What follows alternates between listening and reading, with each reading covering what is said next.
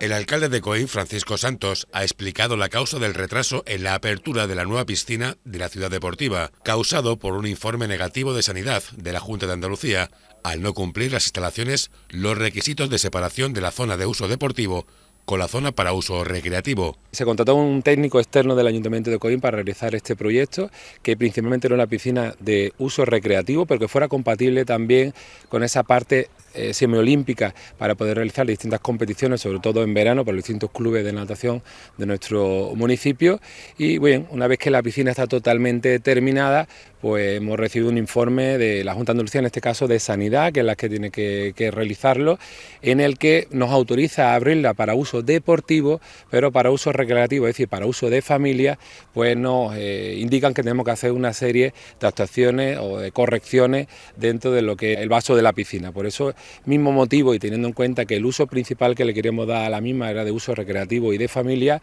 es el motivo por el que no hemos abierto aún la piscina. El ayuntamiento está pendiente ahora de un nuevo informe del gobierno autonómico, tras la propuesta del consistorio con las modificaciones requeridas. Estamos esperando a recibir el nuevo informe según la propuesta que han hecho en este caso ya los técnicos municipales, que es los que han rehecho, eh, rehecho el, proyecto para adaptarlo definitivamente a la normativa y en el momento que tengamos ese informe positivo, pues actuaremos sobre esas eh, indicaciones que nos ha hecho la propia Junta de Andalucía y la intentaremos abrir lo antes posible. Sí es cierto, y, eso es algo que hay que reconocer, que estamos ya prácticamente en puerta de agosto, lo poquito que tengamos que hacer lo tenemos que hacer comprando materiales como es evidente y va a ser muy complicado que estas obras las podamos finalizar a lo largo del mes de agosto principalmente por eso, ¿no? porque evidentemente el personal de las empresas, sobre todo el que hizo la piscina, pues probablemente no puede hacerlo y sobre todo que el material pues no va a estar en esto para, para realizar el primer edil ha lamentado la situación, pero se marca como primordial garantizar la seguridad de los usuarios de las instalaciones. Lo que marca la normativa es que para el uso recreativo de familia, algo un poco